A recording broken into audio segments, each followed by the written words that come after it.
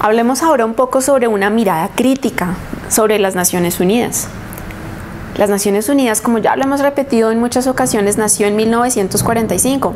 Ya vamos a cumplir 72 años de haber sido creadas. En aquel entonces tenía unos propósitos muy claros bajo los cuales fue creada y una filosofía. Pero ¿acaso te has preguntado si esa misma filosofía, pero por qué también no decirlo, esa forma que estaba concebido el mundo es la misma que hoy en día tenemos? Reflexiona un poco, indágalo con tus compañeros de clase y con tus maestros. ¿Crees que el mundo es el mismo de hace 72 años? Pues bien, muchas personas, al igual que tú y que yo, nos hemos hecho la misma pregunta. Es por eso que muchas veces se ha puesto sobre el escenario una posible reforma de las Naciones Unidas. Y te pregunto, ¿acaso la ONU sigue siendo relevante en pleno 2017? ¿Qué piensas? Indágalo también con tus compañeros, con tus familiares. Piensa en algunos posibles escenarios en los cuales la ONU no estuviera, por ejemplo.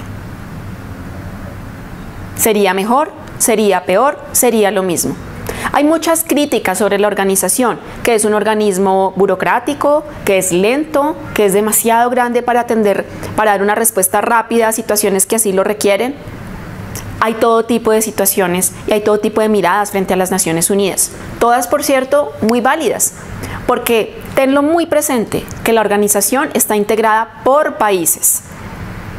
Y estos países, como es natural, tienen intereses propios, intereses políticos, económicos y sociales.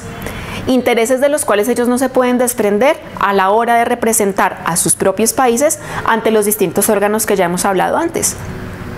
En ese orden de ideas, es bastante complejo que en la organización no se tengan previstos algunos intereses y algunas pujas y algunos bloques de decisiones generados por algunos países. Es la naturaleza humana la que se representa en las Naciones Unidas y parte de la naturaleza humana es pelear por tus propios intereses. Claro está, tratando de velar por el interés común. Pero es por esta misma naturaleza también que el trabajo de la ONU es tan rico, tan diverso, pero también tan complejo. Y es que ahora más que nunca las Naciones Unidas siguen siendo muy importantes.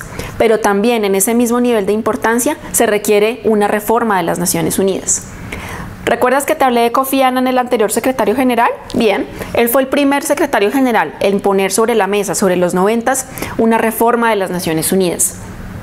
Y claro está que como un organismo internacional tiene que mirarse y pensarse y repensarse el cómo puede enfrentar los nuevos retos de una manera más efectiva. La ONU estaba atravesando por distintas crisis, no le son ajenas las crisis a la organización. La década de los 90 fue una década muy crítica para las Naciones Unidas. Te doy un par de ejemplos en los cuales la organización no tuvo una muy buena respuesta. El genocidio de Ruanda, por ejemplo, y la guerra de los Balcanes. Son dos muy claros ejemplos que la organización tiene y tuvo muchas lecciones aprendidas, específicamente en términos de las misiones de mantenimiento de la paz, pero también sobre el tema de las decisiones políticas que se dieron o que no se dieron en el Consejo de Seguridad. Pues bien, muchas de las propuestas que están planteadas en la reforma de las Naciones Unidas incluye una reforma al Consejo de Seguridad, ampliarlo o integrar países permanentes que representen los cinco continentes. A mí me suena buena idea, ¿y a ti? Otra idea, por ejemplo, es tener una mayor representatividad geográfica, que tiene mucho sentido, pero también piensa en la composición del Consejo de Seguridad que le hablamos algunos videos atrás. Cinco permanentes que fueron los aliados, los cinco triunfadores de la Segunda Guerra Mundial. Pero ¿acaso el mundo de hoy sigue siendo el mismo de la posguerra? Mm, ¿Cierto que no? Así es que creo que ahora más que nunca la organización sigue necesitando una mirada crítica y así como el nuevo secretario general también viene con una idea de cambio y renovación de las Naciones Unidas. Simplemente quiero cerrar este video invitándote a que reflexiones sobre una muy famosa frase de Kofi Annan, el exsecretario general en la década de los 90, y es que las Naciones Unidas siguen siendo la última mejor esperanza de la humanidad.